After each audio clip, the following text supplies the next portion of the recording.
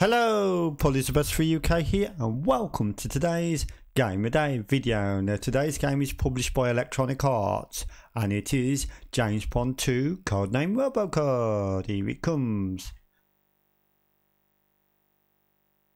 So, Millennium 1991. Okay, so this is a Mega Drive version of James Pond 2, which I've never played before. Played the Amiga version and the Commodore 64 version, and also the Master System version, but never the Mega Drive, so yeah, this is very similar to the Amiga version. So let's go into the room and let's progress on. So we got plenty of uh, parallax scrolling.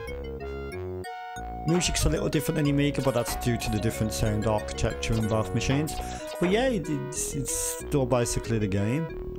So basically you play as this fish, you can jump, but you can also use this stretching ability to uh, get up to uh, points that you can like sort of like shimmy across like this.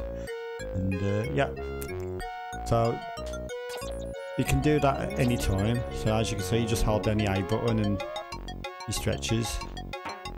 Quite a unique idea for a fish, I always thought. I first played this on the Commodore Amiga 500 back in the day, uh, the non-AGA version.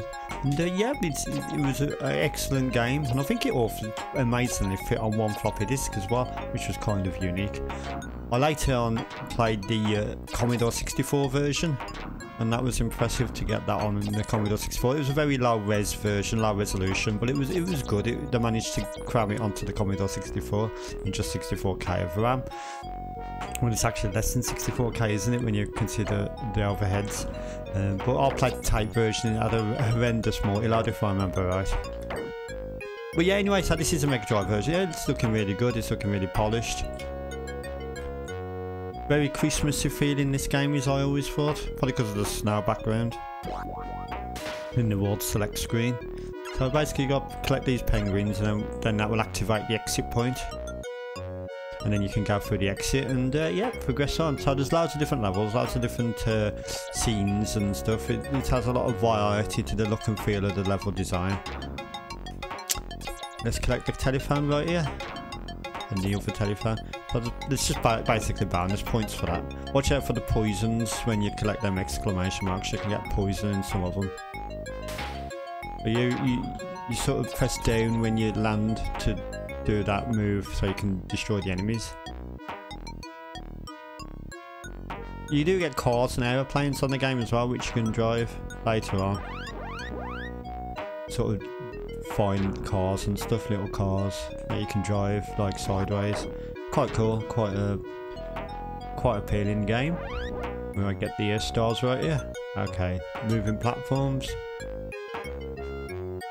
See, this is sort of like sports uh, theme level with the tennis rackets in the background. They're not trees, they're tennis rackets.